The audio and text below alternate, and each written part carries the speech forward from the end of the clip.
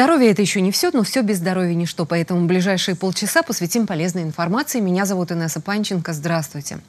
Не секрет, что школьные нагрузки являются причинами переутомления, повышенной раздражительности, плохого сна, снижения работоспособности. Ребенку приходится подолгу сидеть за уроками, а сидячий образ жизни отрицательно сказывается и на осанке, и на самочувствии. Летние каникулы, наверное, самое подходящее время для отдыха и оздоровления. Удачно совместить и то, и другое.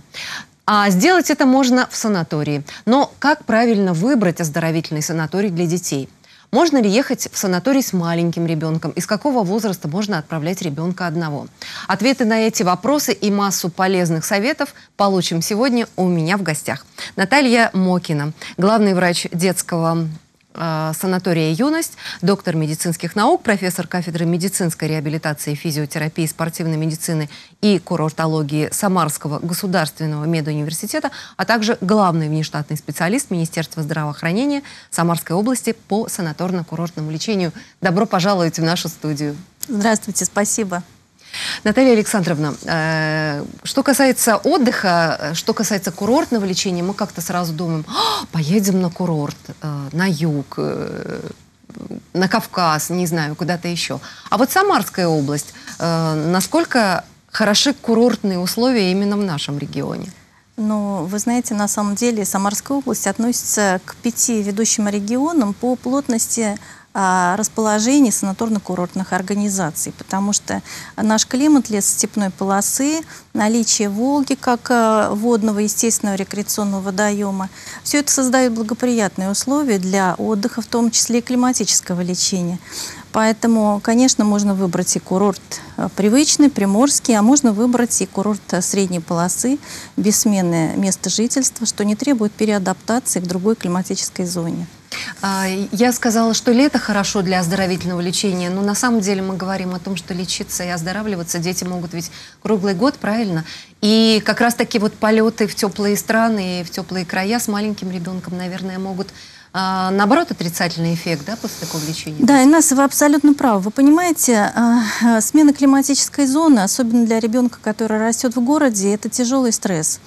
И в среднем для переадаптации к новому климату требуется от 5 до 7 дней, особенно для ребенка дошкольного возраста. Поэтому, понимая о том, что обычная тур-путевка это 10-12 дней, а, ожидать какого-то оздоровительного эффекта от такого тура очень сомнительно.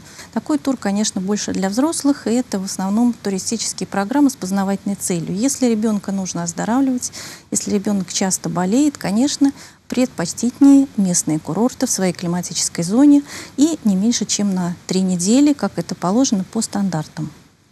А какие именно природные факторы наши, волжские, являются лечебными? Вы знаете, мы относимся к числу тех 20 э, с небольшим счастливых регионов Российской Федерации, где есть природные лечебные факторы. Это и климатический фактор, о котором мы с вами сейчас говорили, это и а, бальнеологические факторы, грязевой. А, хочу напомнить, что в нашем регионе находится курорт Сергиевские минеральные воды. Мы все можем пользоваться грязью оттуда, а, и все санатории так и делают. У нас более 40 санаторно-курортных учреждений в нашем регионе сейчас функционируют разных форм собственности. А также у нас есть а, вода питьевая и для наружного применения.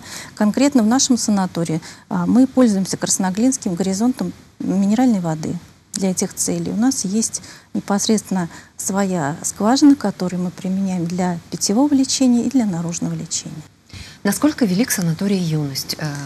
Какая средняя загрузка? Вообще сколько людей может там а, Вы знаете, санаторий «Юность» — это объединенный санаторий. А в нем находится три санатория. Общая коечная мощность составляет 510 коек. И в год это позволяет пролечивать 6,5 тысяч и более детей ежегодно. Дети поступают, конечно, из нашего региона, потому что путевки бюджетные и финансируются путевки из областного бюджета преимущественно.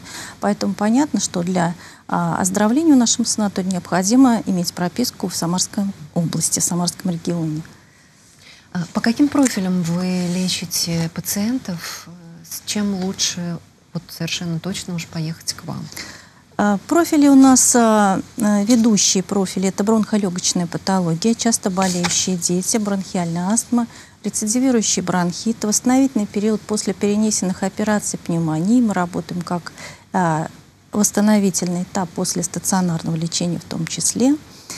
Это гастроэнтерологическая патология, это болезни мочеполовой системы, это болезни сердечно-сосудистой системы, суставов, нарушение обмена веществ.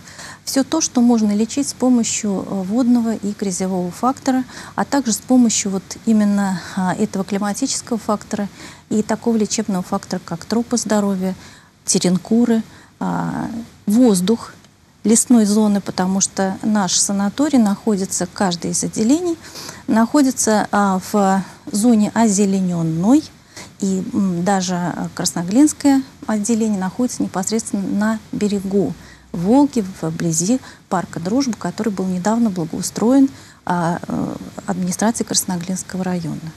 Гастроэнтерологическое направление – это, наверное, вообще все дети, даже не через одного. Сегодня как бы не пытались родители э, правильно их кормить, все равно эти проблемы у всех есть. Это получается, что вот совершенно точно э, можно ехать к вам э, восстанавливать здоровье. Скажите, пожалуйста, ну а просто, когда нет каких-то серьезных, может быть, заболеваний, вот э, для того, чтобы просто укрепить здоровье, есть в этом смысл?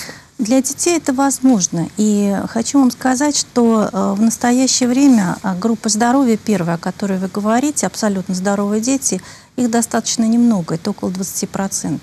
Все остальные 80% имеют те или иные а, заболевания или функциональные нарушения. Функциональные нарушения, ну, это пограничное состояние между здоровьем и болезнью. И те дети, которые учатся в школе, как правило, у них есть какие-то проблемы. Или э, хронические заболевания верхних дыхательных путей, или нижних, или то, о чем вы говорите правильно, а, пограничное состояние функциональной диспепсии, гастриты или э, гастродуодениты. А, все эти заболевания, конечно, требуют своевременной коррекции, потому что понятно, что функциональные нарушения, следующий этап – это уже хроническое заболевание. Для того, чтобы этого не было, а, как раз существует и санаторно-оздоровительный этап лечения. Вы государственное учреждение, да. а какие группы населения все-таки ваши прямые пациенты? А, вы знаете, государственное действительно учреждение, в этом преимущество для населения нашего региона. То есть дети от 4 до 15 лет могут поступать в санаторий бесплатно по бюджетной путевке круглый год. А путевку можно получить, направление на путевку можно получить у врача-педиатра, подойти к нему, если ребенок с хроническим заболеванием, там есть уже а, учет на диспансерной группе лечения, то есть ребенок уже имеет амбулаторную карту, в которой прописан определенный диагноз хронического заболевания, такой ребенок имеет право ежегодно на санаторно-курортное лечение. На профилактическое лечение рекомендуется обычно один раз а, в два года проходить профилактическое лечение. Тоже направление можно получить у педиатра. Там же можно получить справку об отсутствии инфекции, отсутствии энтеробиоза, то есть у ребенка, да, э, обязательно нужно иметь копию страхового полиса с этими документами, обратиться. Сейчас у нас э, есть такая организация «Самара фармации», которая организует раздачу путевок по направлению из лечебно-профилактических учреждений обратиться и получить путевочку. Вот с этим пакетом документов, а, исходя из графика заездов, который выдан путевочка, поступить с ребенком на санаторно-курортное лечение, привести его туда, в санаторий, в одно из отделений, куда направлено. Наталья Александровна, наверное, в санаторно-курортном лечении, как и в любом лечении, главный принцип – это не навреди, да? А какие противопоказания существуют э, для лечения в юности? Э, противопоказания, их немного, но они достаточно серьезные и препятствующие выполнению лечебных мероприятий немедикаментозными факторами воздействия. В частности, инфекционные заболевания в стадии обострения, паразитарное заболевание. Это заразные кожные болезни, естественно. Это кахексия любой этиологии, психические расстройства и эпилепсия неконтролируемой формы. Вот, в общем-то, небольшой, но стандартный список противопоказаний. Используются ли сегодня в работе санатория современные информационные автоматизированные системы? Да, вы знаете, это очень своевременный вопрос, Инесса, вы задаете, потому что а, Федеральный центр а, НИИ курортологии и восстановительной медицины разработал критерии оценки санаторно-курортных организаций Российской Федерации. И в том числе одним из ведущих критериев является использование информационных технологий в работе учреждений. Что имеется в виду? Имеется в виду а, информационное ведение истории болезни, то есть э, информатизация карточки пациента, да, э, сказать, если обычным языком. Имеется в виду а, оптимизация очереди, электронная очередь, для того, чтобы пациенты у нас при приеме во время заезда не ожидали слишком длительное время, пока их осмотрит врач. Ну и, естественно, все эти технологии предусматривают прежде всего а, первичное хранение медицинской документации, то есть согласно тем требованиям, которые сейчас устанавливает Федеральное министерство здравоохранения о переходе на электронный документооборот в части ведения первичной медицинской документации. Касается это и санаторно-курортных учреждений в том числе.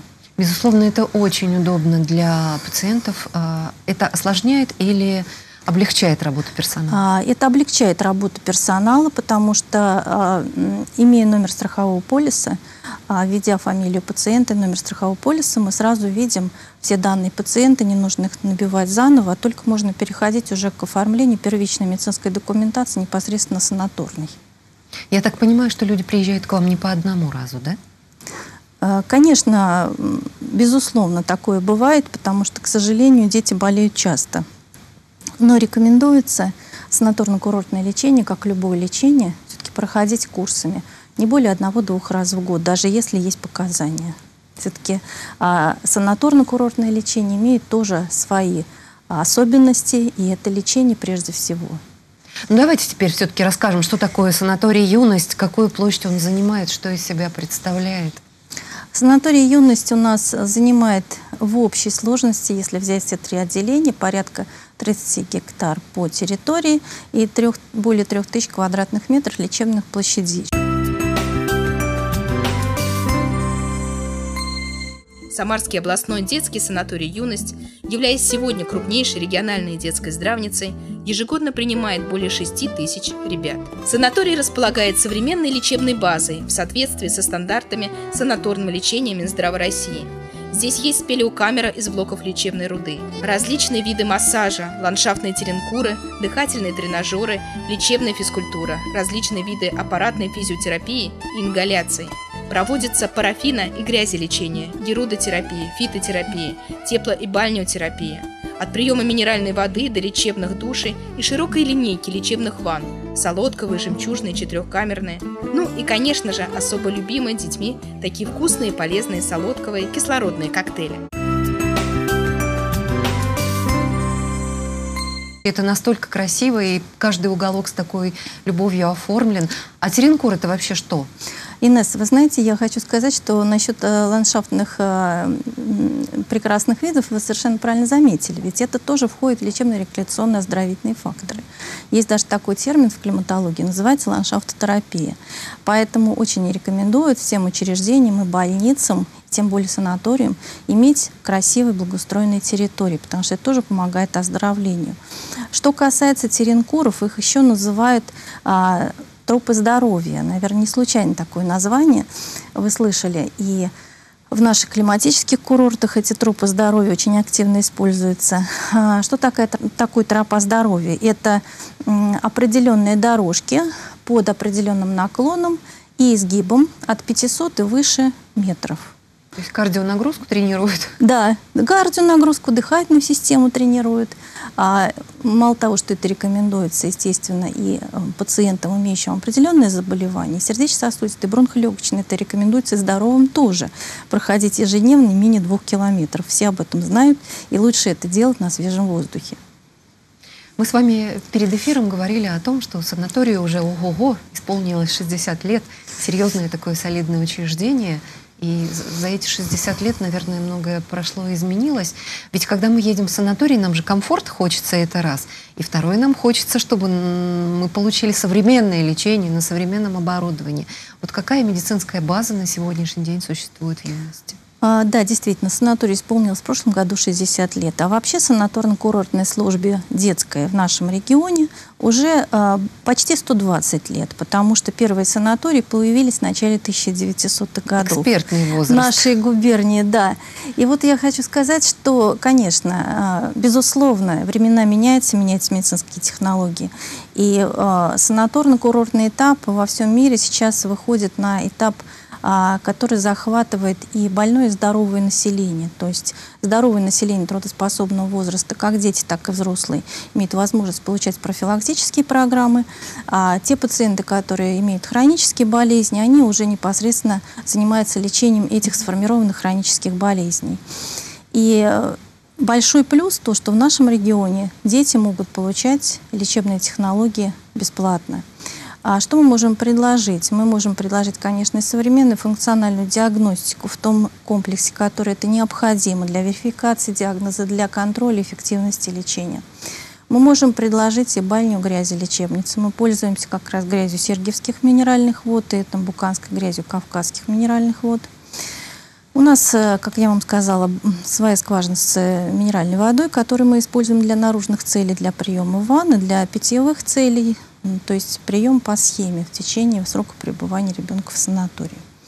Кроме того, у нас есть достаточно мощное физиотерапевтическое отделение, включающее ингаляционное оборудование, современные физиотерапевтические аппараты последнего, последнего поколения и аппараты для механотерапии, и механического массажа, и, естественно, штат массажистов, который осуществляет ручной массаж. Ну и, безусловно, досуговые кабинеты, кабинеты медицинских психологов, которые тоже очень помогают а, в общем комплексе санаторно-курортного лечения. Дети все-таки, наверное, особые пациенты, да, особый подход требуется к лечению. А каким вообще образом назначается лечение и, и, и как потом а, контролируется его ход? А у нас есть федеральные стандарты, утвержденные Министерством здравоохранения Российской Федерации. Эти стандарты включают лечение ребенка на 21 день в зависимости от диагноза. На каждый диагноз существует свой набор немедикаментозных процедур и диагностических исследований. Этих стандартов мы придерживаемся, и это позволяет унифицировать подход к врачей к вообще ведению любого ребенка, что называется без самодеятельности. То есть есть закон, есть стандарт, порядок, его надо соблюдать, и каждый ребенок, естественно, получит э, вот это лечение, которое положено и рекомендовано ведущими экспертами. Как ребенок получает лечение? Он поступает. В течение первых трех дней он осматривается врачом, и врач назначает вот как раз тот перечень процедур, который не противопоказан ребенку, но показан в его данном конкретном случае с учетом его основного и сопутствующего диагноза. Отправляя детей в санатории, родители, наверное, все-таки переживают. Э, дети не все и не всегда послушны и способны добросовестно выполнять, э, ходить на все процедуры и так далее. Каким-то образом это контролируется, отслеживается, ну, чтобы спокойнее было родителям, что да, лечение проходит. Должна вам сказать, Инесса, что дети в санатории – это средств нашего современного общества, представленное со всеми его и психологическими, и физиологическими, и другими типами. Поэтому, конечно, для этого существует воспитательно-педагогическая служба, для того, чтобы отслеживать, во-первых, а, то, как происходят режимные моменты, а во-вторых, как реализуется лечебная программа. Лечебная программа контролирует а, врач лечащий, заведующий отделением, зам по лечебной работе. А также у нас есть система внутреннего контроля качества, которая тоже отслеживает выполнение стандарта. И еще, наверное, совершенно не, немаловажный вопрос – это питание. Каким образом оно организовано в санатории, на каких постулатах держится? А, у нас в санатории сейчас лечебное питание проводится на основе аутсорсинга – значит, э, как проводится? То есть мы знаем прекрасно, что существуют у нас лечебные рационы питания, лечебные диетические столы.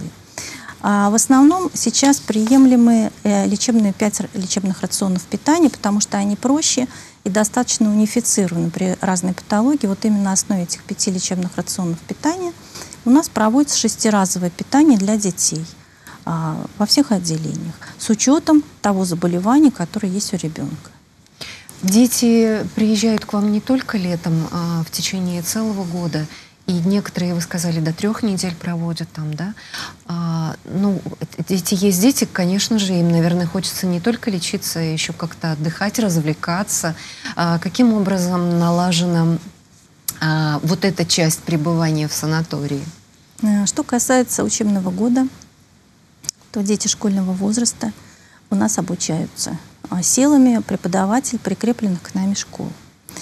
А уроки для детей в санатории, согласно Санпин санаторному, проводятся не более 35 минут в день. А, Это так положено, потому что Это ребенок все находится уроки или один урок? Нет, ну каждый урок продолжительностью Каждый не более 35 в 35 среднем минут. минут. Мгм. А у более старших детей, старших э, классов, у них до 40 минут, но не более. А детей младшего школьного возраста 30-35 минут. А учителя знают об этом и придерживаются данной продолжительности уроков. А, хочу сказать, что в учебном году а, досуговой составляющей оста- остается очень мало места, потому что дети лечатся, дети учатся. И буквально рекомендуется санпином не более одного-двух кружков, чтобы ребенок посещал санаторий в период школьный. Если это летний период, здесь, конечно, нам легче в том плане, что мы можем на открытом воздухе проводить занятия с детьми. И здесь насыщенность по кружкам, по культмассовым мероприятиям, акциям, флешмобам и всему остальному достаточно большая по сравнению с э, сезоном, когда ребенок должен учиться. И это было бы непонятно, если ребенок месяц, почти три недели находится в санатории, и он не получает никаких отметок, никаких знаний. Это, конечно, проводится, и это рекомендовано федеральными нормативными документами. Но все-таки какие-то музыкальные залы, Да, конечно. площадки для игр, Конечно, комнаты. это, это предусмотрено, и это обязательно есть. У нас есть и игровые комнаты, у нас есть и муз-руководители в каждом отделении, которые играют и на фортепиано, и на аккордеоне. У нас есть и музыкальный зал, где проводятся так называемые музыкальные гостиные. У нас есть а, детские площадки на открытом воздухе. У нас есть залы лечебной физкультуры, где можно проводить и проводятся не только занятия лечебной физкультуры, но и линейки, какие-то акции, когда погода не очень хорошая, или холодное время года. Вот, все это, конечно, есть, и есть и учебные классы, потому что а, как раз учителя, они занимаются непосредственно в школьных классах, которые есть в каждом отделении. Ну, я думаю, что неправильно будет не удовлетворить интерес наших зрителей, не спросить вас о том, а кто нас лечит в санатории «Юность», э, какая квалификация медицинского персонала, э, выполняются ли знания, ведь время идет, и, собственно, и лечебные методики меняются, аппаратура меняется. Да, вы знаете, Инесса, у нас а, персонал медицинский, персонал средний, медицинский персонал с высшим образованием, то есть врачи, до 70% а, имеют квалификационную категорию. Из них 35% имеют первую и высшую категорию, в том числе врачи и медицинские сестры. А, Конечно, безусловно, они участвуют и в системе непрерывного медицинского образования, и выездных, в том числе съездах, конгрессах, семинарах, потому что сейчас настолько быстро меняется медицина, настолько много новаций. А, Как говорят наши гуру от медицины, что если врач не учится в течение трех месяцев, он устает на пять лет. Совершенно не медицинский вопрос, человеческий, где-то дилетантский. Вот вы как э, глава учреждения, а, ваше мнение, какое главное требование, которое вы должны предъявлять к тем, кто работает с детьми? А, Вы знаете, ну, может быть, это банально будет звучать, но надо прежде всего любить детей, иметь а, искорку доброты хотя бы. Вот если это есть, и есть еще и профильное образование, такому специалисту просто нет цены. А, Говорю это из опыта. А если кто-то не получил ответ на какой-то свой вопрос вот из нашей с вами сегодняшней беседы, где можно узнать, может быть, более подробную информацию и, и уже принято решение, предположим, что да, я хочу, э, куда пойти, А, еще раз обозначим, если можно. А, Вы знаете, у нас есть адрес сайта, у нас есть свой сайт, достаточно часто обновляемый. Есть контактные телефоны, может быть, вы как раз сможете себе бегущей строкой Конечно, их мы показываем их на протяжении всей программы. И на сайте можно найти ссылки для детей на группу общения ВКонтакте, на Фейсбуке, где мы выкладываем видео и фото с мероприятий, которые проводились, в которых дети принимали участие. Можно скопировать, посмотреть, поделиться с друзьями, знакомыми, оставить свой отзыв или а, провести какой-то мини-форум а, в рамках вот нашей группы общения. Тоже можно найти на сайте на нашем ссылочке. Наталья Александровна, очень авторитетная беседа. Я думаю, что, наверное, многие вопросы получили сегодня ответы у наших зрителей. Большое спасибо за то, что вы пришли к нам в студию. Спасибо большое, Инесса. И рассказали нам о санатории. Ну, а мы будем подводить итоги. Итак, для часто болеющих детей поездка на пару недель в санаторий зачастую это единственный способ выбраться из порочного круга заболеваний, восстановить иммунитет, выправить осанку, избавиться от постоянных простуд как минимум на год. Будьте здоровы!